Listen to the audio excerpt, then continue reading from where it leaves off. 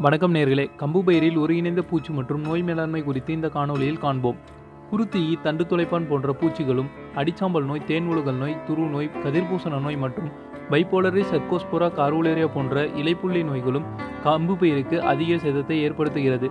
வழக்கமாக கிடைக்கும் மகசூலை விட இவற்றின் தாக்கத்தால் மகசூல் குறைகிறது. ஒருங்கிணைந்த மேலாண்மை மூலம் இவற்றின் தாக்கத்தை கட்டுப்படுத்தலாம். கோடை மலையை பயன்படுத்தி நன்கு கோடை உழவு செய்ய வேண்டும். விதைப்பதற்கு முன்பு நன்கு உழவு செய்து நிலத்தை ஆறவிட வேண்டும். நோய் மற்றும் பூச்சி தாக்காத விதைகளை விதைக்க வேண்டும்.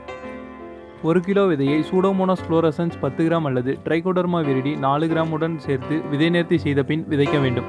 விதைக்கும் முன்பு உப்பு கலந்த நீரில் விதைகளை கொட்டி நீரின் மேலே வரும் நோய் தாக்கப்பட்ட விதைகளை அகற்றிவிட வேண்டும். விதைத்த முப்பதாம் நாள் ஐம்பது கிலோ தொழு உரத்துடன் இரண்டு கிலோ சூடோமோனோஸ் ஃப்ளோரசன்ஸ் கலந்து வேரில் இட வேண்டும். இதனை தண்ணீரில் கலந்து இலை வழியாகவும் தெளிக்கலாம். நோய் தாக்கப்பட்ட பயிர்களை உடனடியாக நிலத்திலிருந்து அகற்றிவிட வேண்டும். முட்டை புழு மற்றும் கூட்டுப்புழுக்களை கையால் அழிக்க வேண்டும். கருவாட்டு பொறி அமைத்து குருத்துயியை அழிக்கலாம். விளக்கு பொறி அமைத்து அந்துப்பூச்சிகளை கட்டுப்படுத்தலாம்.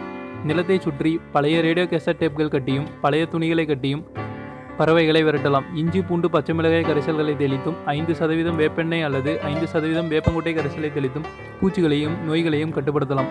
இவ்வாறு பல்வேறு வகையான ஒருங்கிணைந்த முறைகளை பயன்படுத்தி பூச்சி மற்றும் நோய் தாக்குதலை தவிர்த்து விவசாய பெருமக்கள் அதிக மகசூல் பெறலாம். இந்த வீடியோ உங்களுக்கு பிடிச்சிருந்தா லைக் பண்ணுங்கள் உங்கள் ஃப்ரெண்ட்ஸுக்கு ஷேர் பண்ணுங்கள் உங்களோட சந்தேகங்களையும் கமெண்ட்களையும் தெரிவிக்க கீழே கமெண்ட் பண்ணுங்கள் இது போன்ற பல வேளாண் தகவலை தெரிஞ்சுக்க இந்த ஏயு அக்ரியார் யூடியூப் சேனலை சப்ஸ்கிரைப் பண்ணுங்கள்